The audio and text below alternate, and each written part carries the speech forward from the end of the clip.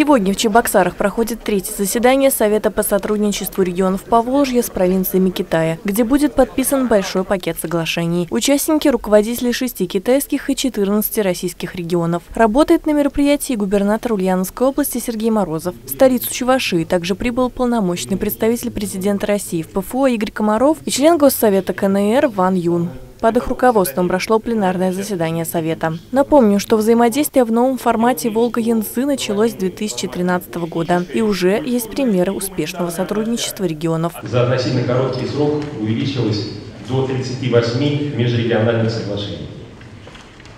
Регионами Приволжского федерального округа осуществляется проработка более 20 проектов соглашений об осуществлении международных и внешнеэкономических связей в торгово-экономической, научно-технической и гуманитарной областях. Позитивным примером взаимодействия в формате Волга-Янзы является сотрудничество с Ульяновским регионом. По итогам 2018 года Китайская Народная Республика во внешнеторговых связях остается одним из ведущих зарубежных партнеров нашего региона. Область активно сотрудничает с провинцией Аньхой. Мы тоже реализовали достаточно большое количество э, совместных проектов, не только в промышленности, но и в области туризма. Э, вы знаете о том, что э, используя бренд «Родина Ленина», используя э, замечательный проект, который есть в Китайской Народной Республике, «Красный э, туризм», мы реализовали э, в Российской Федерации такой глобальный проект, как «Красный маршрут». Кроме этого, ульяновская сторона прорабатывает проект, связанный с логистическими контейнерными поставками, а также созданием медицинского кластера на территории Заволжской промзоны. В рамках Совета Сергей Морозов провел встречи с главной провинцией Китайской Народной Республики, где обсудил дальнейшее сотрудничество регионов.